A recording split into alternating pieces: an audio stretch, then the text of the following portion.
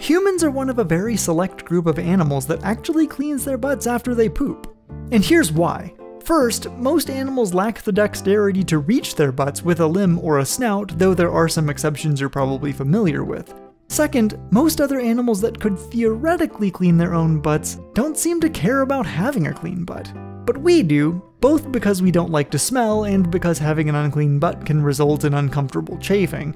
And that leads to reason number three. Thanks to the giant gluteal muscles that we've evolved to help us walk around on two legs, and the large fat pads that surround those muscles, the human butt is the most voluminous in the animal kingdom.